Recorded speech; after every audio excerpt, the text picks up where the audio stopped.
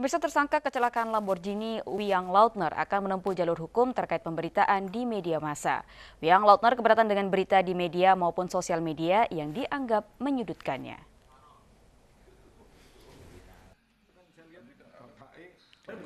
Melalui kuasa hukumnya, Amos Taka, Wiang Lautner merasa dirugikan dengan pemberitaan yang dianggap negatif dan menyudutkan.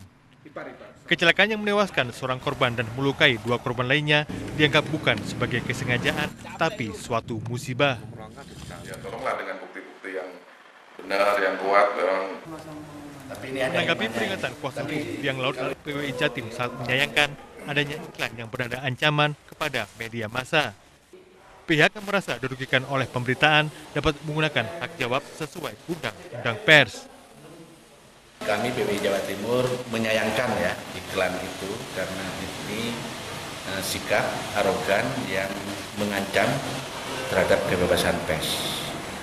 Kenapa pers itu bekerja dan dilindungi oleh undang-undang? Tersangka Wiang Lautner saat ini berada di Rumah Sakit Bayangkara Polda Jatim untuk menjalani perawatan pasca kecelakaan. Sementara korban kecelakaan lainnya, Mujianto dan Srikanti, masih menjalani perawatan di Rumah Sakit Haji Surabaya. Dari Surabaya, Sony Hermawan, MNC Media, melaporkan.